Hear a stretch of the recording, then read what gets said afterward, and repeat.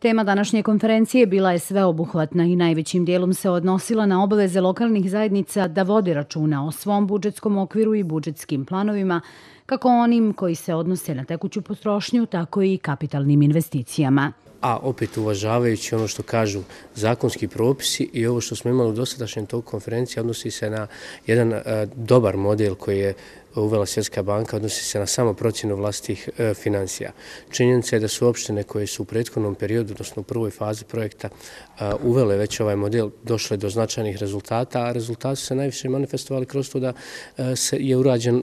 dobar dio planiranja budžeta godišnjeg, znači što, što se na kraju manifestovalo kroz realizaciju budžeta, čini mi se da su opštine koje su primijenile ovaj alat imale i 90% izvršenje budžeta, budžeta i više, ali e, također je jako bitno reći da se odnosi na,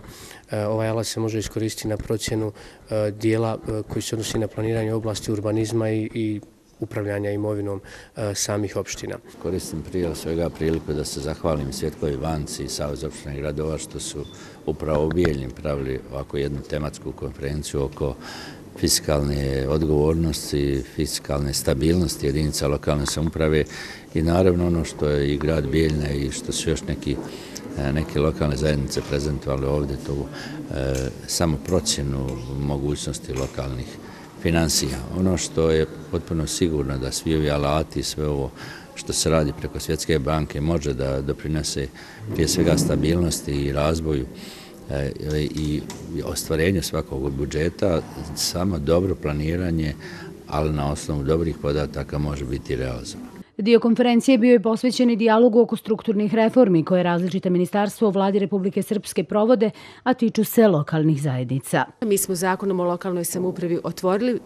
E, na neki način reformu lokalne samuprave, izdvajajući gradove kao posebne urbane celine, dajući im nova ovlašćenja i nove mogućnosti kad je u pitanju njihov razvoj, cijeneći da će oni i u budućnosti biti pokretači i nosioci razvoja za e, određene regije, odnosno grupe opština. I zato smo mi danas ovdje da zajedno sa lokalnim zajednicama kao partnerom dogovorimo način i, i, i brzinu kad su u pitanju e, primarna zdravstvena zašta, odnosno domovi zdravlja. Očekujem danas da ćemo da neke nejasnoće s jedne i s druge strane e, razjasnimo i da onda krenemo kroz e, jedan pilot projekat sa manjim brojem ovaj, domova zdravlja i nakon određenog vremena da uključujemo ostale. Definisali smo kriterije od broja stanovnika, usvojenost budžeta lokalnih i neke druge i E, pokušat ćemo da obuhvatimo i one koji dobro rade, odnosno dobro posluju i one koji imaju teškoće u poslovanju i da na neki način nađemo način kako da u oblast primarne zdravstvene zaštite, odnosno financiranje, uredimo na najbolji način. Učesnici konferencije složni su u jednom da ovakvi dijalozi doprinose i pomažu fiskalnoj decentralizaciji i odgovornosti u jedinicama lokalne samouprave u Republici Srpskoj.